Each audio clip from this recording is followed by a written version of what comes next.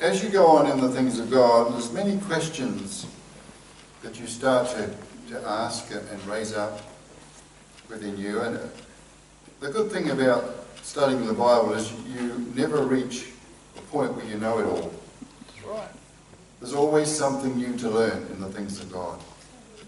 You know, there's, there's things over the years that I've had to really seek the Lord on, and I continue to seek the Lord on, and that is in the areas of healing. Uh, we saw, um, we were on quite a large um, prayer team when we were in at Brisbane in the big church over there, and uh, we saw a lot of strange things over there. Praying for people, we pray these the, the, our prayer with all that's within us. You know, we pray for this person and they get healed, totally healed of some disease that was life-threatening. Then we'd say the same prayer over somebody else and they'd die. And that would upset me. So I thought, well, work there, why won't it work there? And so those sort of things I really started to try and seek and I asked the Lord about some of these things. And when you start to inquire of people, it is quite quite a shock in what people truly think in their heart. They say they want to be healed.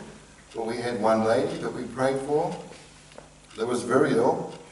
And every time I went to pray for her, the Lord says, don't pray for her, she doesn't want to be healed. And that really confused me. I thought, well, anyone with any brain, even half a brain, would want to be healed, wouldn't they? you know, why would you want to be in sickness? I mean, are you there?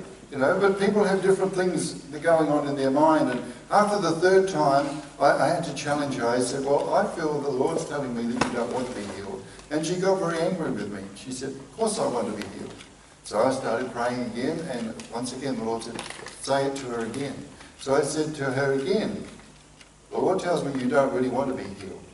And all of a sudden, she just let it all out She said, no, I don't want to be healed because if I get healed, my husband will leave me. Now, that's the sort of thing you've got to counsel first before you can get the breakthrough of that person being healed. And we saw other things too. We saw one person come forward for prayer, and we're all ready, ready to get in. And, and he'd been uh, he'd been off work for a long time, and he needed the hand of God to touch him to bring him to that health to get back to work. So we started praying. He know, oh, hold on, hold on, he said, don't pray for full healing. I only want half a healing because I want to stay on the benefit. See, so these sort of things started to show me that it's not my responsibility. My responsibility is to bring you the word, and then God will work those things out in people's minds. Another lady, I remember, that um, came to this church and she was blind. And I knew I felt more she was going blind and she was going to, um, according to the doctors, be, be totally blind. And that sort of thing is not acceptable in my heart, in, in, in, my, in what the Word of God says. So we offered to pray for her. She said, oh, no, don't, don't you pray for me. She said, I don't want to be prayed for. I said, why is that? She said, I'll have to take my dog back. She had a seeing eye dog. So, you know, you can you can start to take responsibility. And a lot of people don't pray because they really don't think there's any answers out there.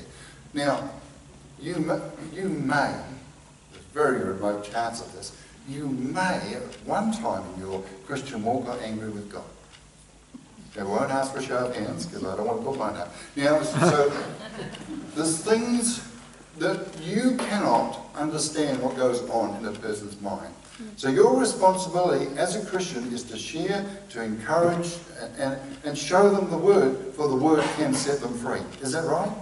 I mean, have, have you been totally sort of um, shocked sometimes where you hear an evangelist comes to a place and he prays for all these people, they're unbelievers, they don't have, they even say they're unbelievers, oh, I don't believe in that stuff, and they get healed.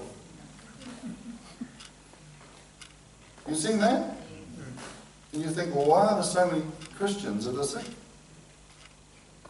If God's grace and God's mercy is there for us, then we should know how to tap into it.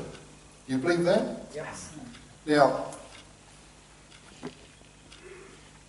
in the area of, of the evangelistic, when, when a great evangelist moved, and we've seen T.L. Osborn, um, seen, we've read about his, his amazing works. You know, they go to places like Africa and, and they pray for thousands of people, and at the end of the meeting, they got this big pile of, of um, walking sticks and things that prop people up, and, you just get so excited. In our own land, it's not, not quite so common, people getting healed. But you've got to realise, number one, when he, he goes to a place like that, he, there is an anointing on him by God to walk and operate in the gift of healings. That's, that's where it's God's grace and God's mercy reaching out to the lost to bring them to the knowledge of Christ. Number two is that they don't have any, any other props. They don't get healed in those sort of countries, they die. There's no backup of the health system that we've got. You know, it's good that we've got a health system. What I'm saying is they can't rely on that. They have to rely on the fact that this man has just said God wants to heal you, and they will grab hold of that and they get healed. There's many people that enjoy going overseas because they see greater miracles in the lands where there is no, there's no dole, there's no, there's no hospital, there's, there's nothing there that they, that they can use as a backstop. They have to believe God or they die. And that makes a big difference, doesn't it? So then when it comes to us as Christians, we've been Christians for, say, for a little while, God wants us to grow in the things of God. He wants us to start relying and and grabbing hold of what the Word of God says and taking it as a truth and not as a, as a oh well, take it or leave it type of thing. You can't adjust the Bible. The Bible is non-adjustable. Yep. Nowadays we have all sorts of theories of, of we can do this and we can do that. The Bible is not adjustable. The Bible is the Bible. So God wants us to develop our individual faith. I'm going to show you some things this morning that really it was, it was the people who needed a touch from God that just reached out to God, and the hand of God touched them, and they, and they were healed. Another interesting thing, too, in my studies is, is that Jesus did not have long prayers. That's right. He did not waffle. He said, Be healed. Lazarus, come forth we would say, get Lazarus, come fourth, fifth, sixth, seventh, you know, just keep on going. You see, we, we try to justify when we're praying. Oh Lord, heareth my prayers that this person has, has served on, on the deacon board, or this person has worked in the op shop for so many years, and we go on and on with dribble that has no, no effect on God whatsoever because God has already given it to us. You don't have to justify it. You, you, you're, you're made righteous because of Jesus, not anything you do. Nothing you do can make you righteous. But see, sometimes we even we can even slip into the area of, well, I prayed. That's your work. Now, okay, let's move on, otherwise I'm going to run ahead of myself. As we develop our faith and know that we know what the Word of God says, it blows away doubt, which is our biggest problem. Yes. Just blows it out the door. Let's look at Mark 8. Jesus took our sickness at the cross. When Jesus died, he died for our salvation. But he took upon himself all sickness, disease, malfunction, all those things. But here's the good part. We're discussing on Wednesday, Wednesday night. On Wednesday night now, we, we've, we've changed it a little bit. For the first half hour, we have teaching, and then the second half hour, we have prayer. And we find that we're getting lots of discussions, lots of feedback, and, and that's really exciting us as well, because it's, you know, it's, a, it's a time of input as well. So, where was I? Oh, Jesus at the cross. How could you forget that? Um, when Jesus rose again, there is a, we know in the Bible it says, the Spirit that rose Christ Jesus from the dead is alive in us. Yeah. Is that right? Yeah. So when he rose again, you notice that there was no sickness, no disease. He was perfectly healthy. Is that right? So therefore, we know that Jesus had all the sickness, disease, malfunction, all those things at the cross. This is something you'll get more out of the Bible if when you're reading Old Testament, you always feed it through the New Testament and through the cross. Now, I'm, reading a one-year Bible as well as studies. Of, of, and this morning I was reading about the different sacrifices that people had to make. And I, I was, as I read through it over the last few days, I was thinking, praise God, we're in the New Testament. Somebody blasphemed God, as I was reading this morning. Somebody blasphemed God. So they said, take that person to the outside of the city and stone them. Now, we're not talking about modern day stoning. We're talking about stones, real bricks, you know. You know what I'm saying? And kill them. I was like, whoa. Isn't that incredible? There was no nonsense in that, in that part. Sacrifices were, animals were dying in their thousands, but sacrifices of people's sin. I was thinking, praise God for the cross. So anything that's in the Old Testament must be taken through the cross to the new covenant. Yeah. When we learn that, our lives change. Mm. It changed because no longer can we live under a curse. That's right. Because we're redeemed from the curse. Right. No longer can we live under condemnation. Like Pastor Dan was sharing. You know, the condemnation comes. If, if you're doing something you should, well, you know, smoking is not a sin as such. It's, it's a sin to your body, but it's not, not something that's going to cause you major problems. You know, it's a health issue, right?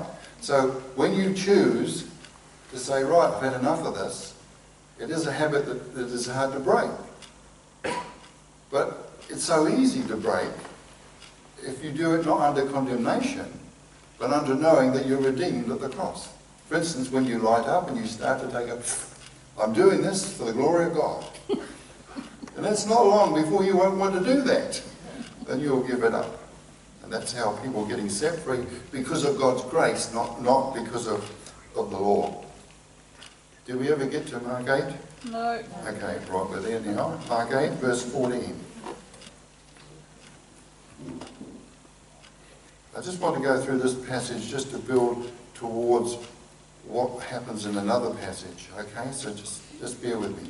Verse 14, now the disciples had forgotten to take bread, and they did not have more than one loaf with them in the boat. Then he charged them, saying, as Jesus, Take heed, beware of the leaven of the Pharisees and the leaven of Herod. And they reasoned amongst themselves, saying, It is because we have no bread. They missed the whole point here, but that's another whole that's another sermon. I don't want to go that direction. Verse 17. But Jesus, being aware of it, said to them, Why do you reason because you have no bread? Do you not yet perceive nor understand? Is your heart still hardened? Having eyes, do you not see? Having ears, do you not hear? And do you not remember when I broke the five loaves for the five thousand? How many baskets of full fragments did you take up? They said to him, Twelve. Also, when I broke seven for the four thousand, how many baskets of full fragments did you take up? And they said, Seven. So he said to them, How is it you do not understand. Now, why I brought this passage out was, as Christians, as time goes on, you will come across many miracles. You will see people, you have miracles in your own life. Well, I really believe that you will, whether it be financial or, or healing or anything. You, you'll see and you'll hear about miracles and you can go, we've got an awesome thing now, you can go on the net and you can look up areas of miracles that are happening right throughout the world. Awesome things are happening. Amen. This is not being recorded. Amen. Yeah. Good. That's what Don said. Uh, anyway, the, the media's not picking this up. And yet there's so many awesome things happening in the body of Christ. People getting healed of horrendous diseases. Mm. And so what I'm saying is when something happens, grab hold of that. Grab hold of that testimony of that person that got healed. For instance, when we were, we were in a meeting once in Brisbane uh, with T.L. Osborn, there's something that's imprinted on my heart. It, nobody can take this from me. There was a, a man came forward for healing. He had no irises. He had no, what's the, what's the bit in the middle? Pupil. It was just white, just had white eyes. And he got prayed for. And he began to see he had new eyes in his head. You can't take that away from me. You can't say, oh, that's not for today. That's now part of, of, of my heritage, as it were. So I, I expect God, He did it for them, He'll do it again. Mm-hmm. You know what I'm saying?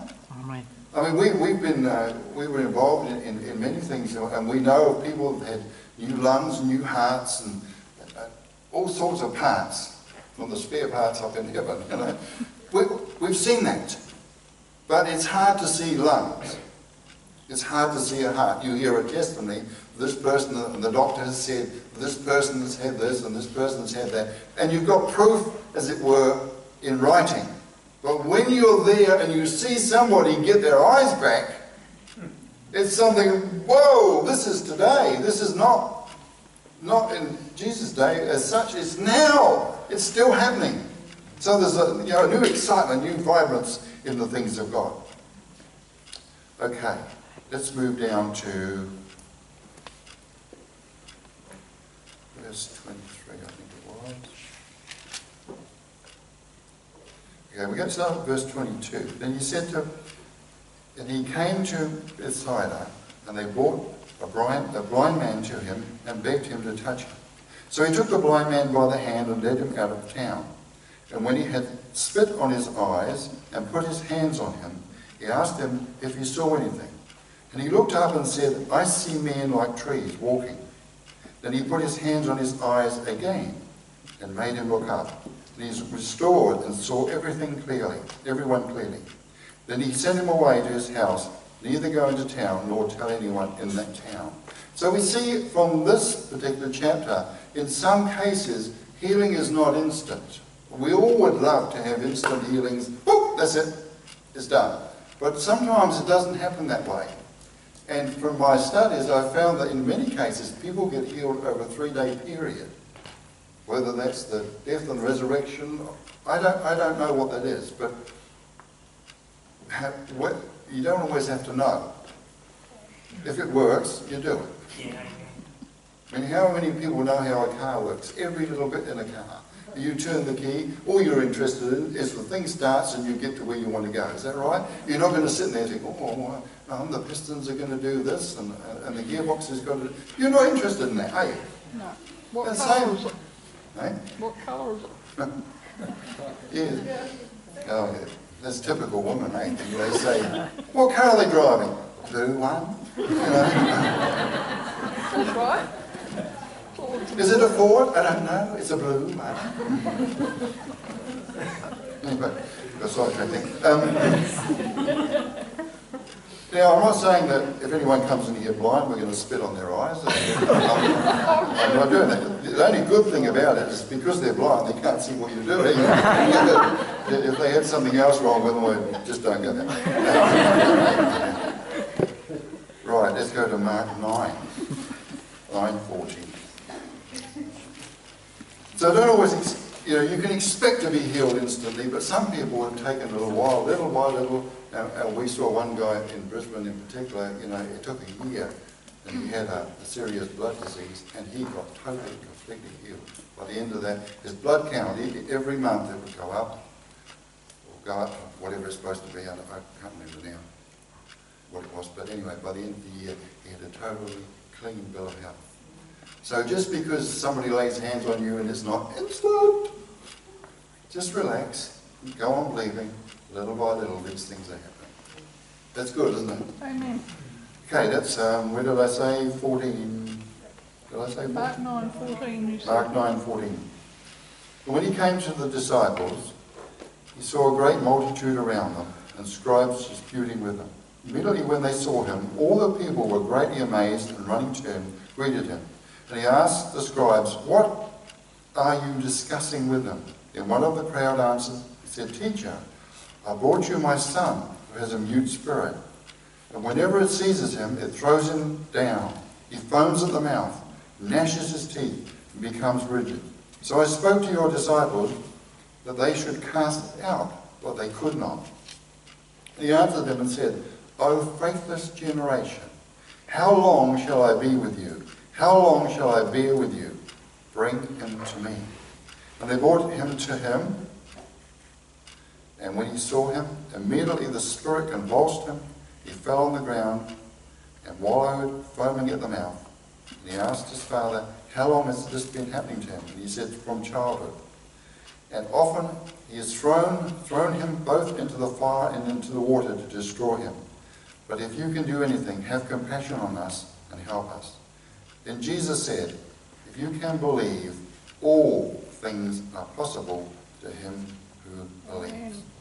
The child was immediately set free. Immediately. If you can believe, all things are possible. If you can believe, all things are possible. Now we all know Mark 11, 23. You say, you believe, you receive. And it,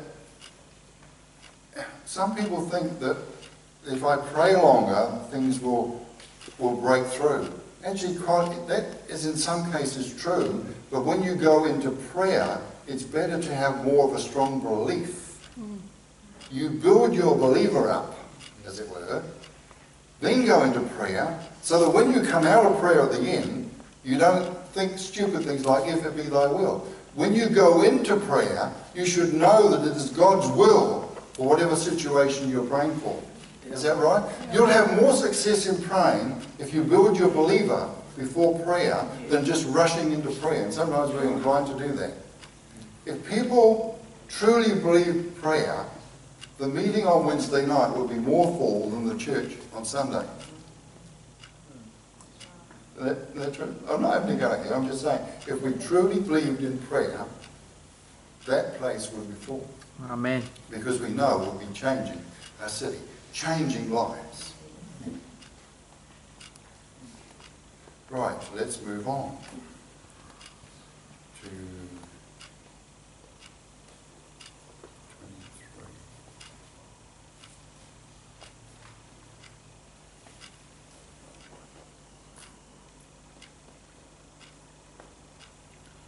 23. We're go, go to 27. But Jesus took him by the hand. We're still on, that um, lad that had that, that um, spirit being, being delivered. But Jesus took him by the hand, lifted him up, and he arose. And when he had come into the house, his disciples asked him privately, Why could we not cast it out? Verse 29. So he said to them, This kind can come out by nothing but by prayer and fasting. Now, this one, this particular verse, for a while, many years ago, really used to bother me. Because we're redeemed from the curse. We walk in the divine presence of God for what Jesus has purchased. And here it says, this spirit won't come out through unless you use prayer and fasting. But as you do a study, you start to come across things that don't quite line up. When the interpreters put it into English, they changed some things because they couldn't quite handle what the actual Bible was saying. Now, I got all the Bibles out yesterday and I spread them all out and I read all the different um, interpretations. And I was surprised. In some, it said, this can come out by nothing but prayer. No mention of fasting. That was in, in, in a number of um, interpretations of the Word of God. When I picked up the Amplified Bible, the whole verse was written in italics. I thought that is very interesting. Why is that written in italics? When it's written like that, it means it's been added. What the Word of God actually says is talking about our believing system. This kind comes out because we need to believe in the things of God. Now, I know that um, many people fast, and I, and I don't have any problem with that if you want to fast. But it says prayer and fasting. If you want to get breakthrough, it does sharpen your spirit a little bit, but you, you get waves of sharp and, uh, you know. But many people fast to try and persuade God. Fasting persuade God. He's already put it down that what he means is what he says.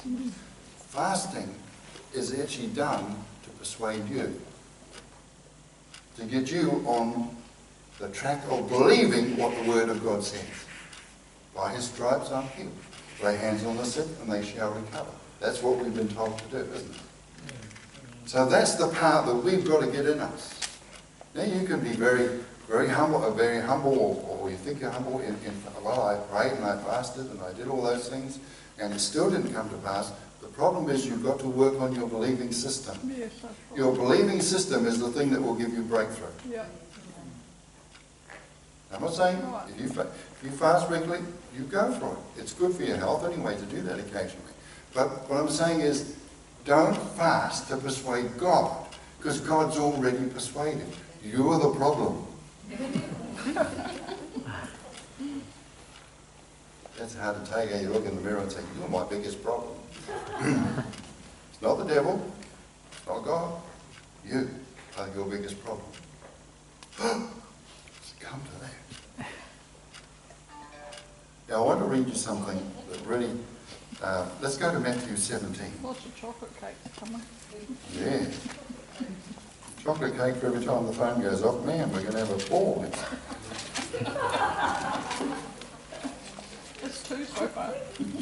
Matthew 17. Actually, you can bear it. We'll have banana cake.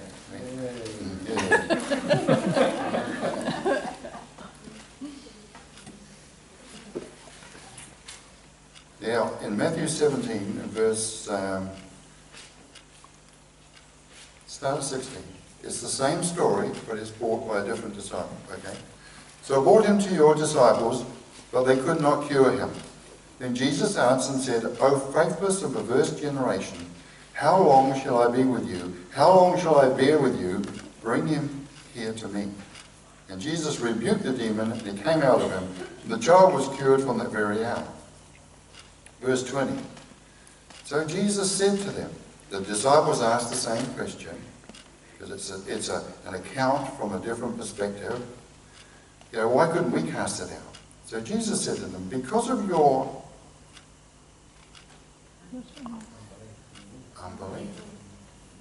For surely I say to you, if you have faith as a mustard seed, you will say to this mountain, move from here to there, and it will move, and nothing will be impossible for you. Right. However, this kind comes out through prayer and fasting. That's what it says once again in verse 21. But it's unbelief is your problem. Totally unbelief. Now, I want to, I want to read to you from the Message Bible. Now, this is in the modern vernacular, as they call it. And this is so cool, what they say. It's right to the point, doesn't muck around.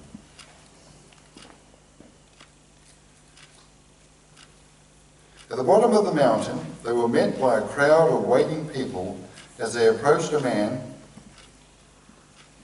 As they approached, a man came out of the crowd and fell to his knees, begging, Master, have mercy on my son. He goes out of his mind and suffers terribly, falling into seizures.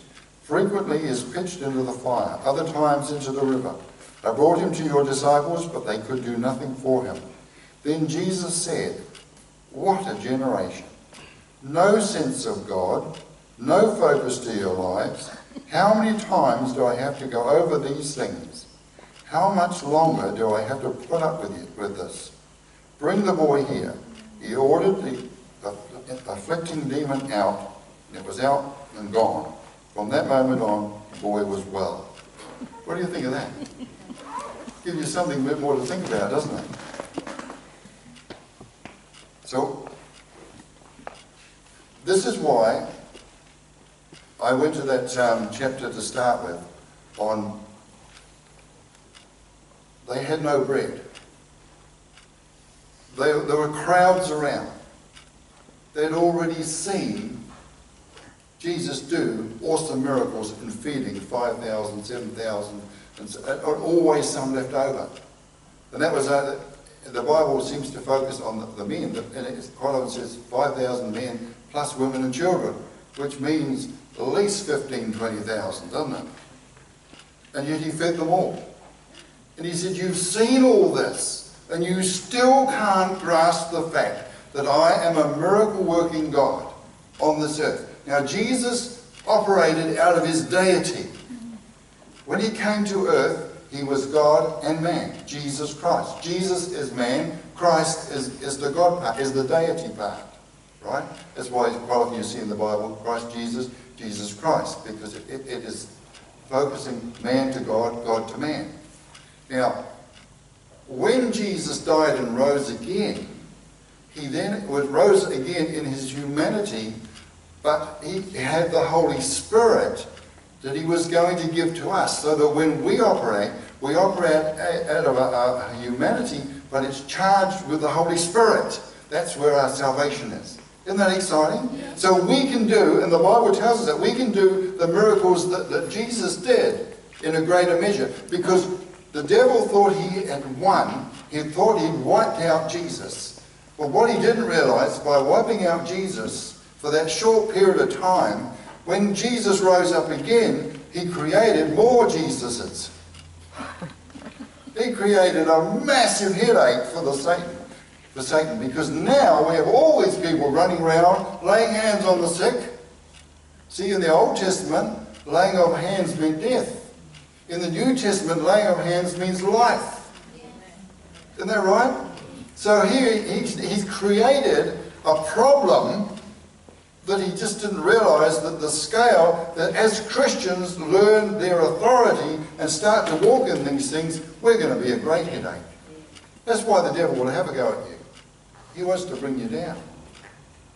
But greater is he that is in you than he that is in this world. Isn't that exciting?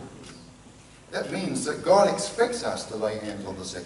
He, he commanded us in Mark 18 to do that. Lay hands on the sick and they shall recover. Well, I prayed for a lot of people, they didn't get well. Well, the thing is, you keep praying, and the, and the Spirit of God is start going to start to flow through you, and you will start to see things happen more and more. They increase the more you do it. The more you use those things, like like Sue shared, you know, those miracles. When you have a miracle, you share that miracle. Actually, it was interesting with, with uh, Bill Johnson how much they put on the area of, um, of testimony. When a person got healed of a particular disease, they would get that person to come out and they'd pray for people with that disease and they'd see lots of people healed because of that. It's a sharing of your testimony, but it's a sharing of the anointing that break that yoke over you that you can release onto others. Isn't that awesome? I've never heard of that before until a few years ago. And, and, it, and it's true, you know. You know. You see, what it's done is it's built your faith that you know that you know that you are healed. And because you know that, your faith is already up there, as it were, so you can release that, that faith and release that anointing in the, in the, in the gift of healings that, that God will operate through you in those areas. Isn't that, isn't that? Well, I thought it was good. Oh, you know. You're allowed to get excited. You know, you, you don't have to stay quiet. Okay, well, I hope that's encouraged you this morning. I hope that you can see that your main focus must be on your believing. Now, I know from experience that sometimes to get a breakthrough in a particular area, you'll have to go away and pray for some period of time. You, may do it on a daily basis. Maybe one day. And you need to do that until you get the joy and the breakthrough. And the easiest way to do that is by praying in tongues. Praying in tongues is the thing that gives you, the, I don't like calling it a thing, is the gift that will see your breakthrough. So, you, you know, you're focused on it, you're praying in tongues. What I love about tongues, most of all, is you can't pray wrong. You may have the gift of praying wrong. called control or manipulation. But in God, like, you know, your son or your daughter going off track, and so you're trying to pray what you want them to be and to do. The best thing is to give them to God and pray in the Spirit, let God take care of it. May not go the way you want it, but God will have his hand on that person, and he'll never take his hand off. Isn't that good? See, I can pray for my brother who lives in England, or my daughter who lives in England. I don't have to know the details. Lord, I lift up my daughter, and I can start praying in tongues. And that will go in the Spirit all the way to London. I don't have to go there and spend four or five grand to get there. I can send it by Spirit now. It even gets quicker. It's instant. And it gets there. It doesn't get lost or missing. It gets there. It hits the spot. Isn't it exciting? That's all stand. Just close our eyes for a moment. Father, we just thank you for this time, being able to share your word. Lord, I, I pray that the Spirit of God will encourage and build the people, knowing how much of, grace, mercy, and love you have for them. You're there to encourage. You, you're there to change lives for their benefit, not to be a not to be awkward. You're there to get the best out of every person who listens to what the Spirit of God says. So Lord, we just we give you thanks. And we thank you, Lord, as we go out with that encouragement, that we're, we're so full of the Spirit of God that when opportunity comes, we will share the love of God, share it to those that, as you prompt us to encourage others, because this is the only way. There is no other way except Jesus. No other way. Thank you, Lord. If anyone here needs prayer, if you would like, like us to pray in the prayer of agreement, please come forward.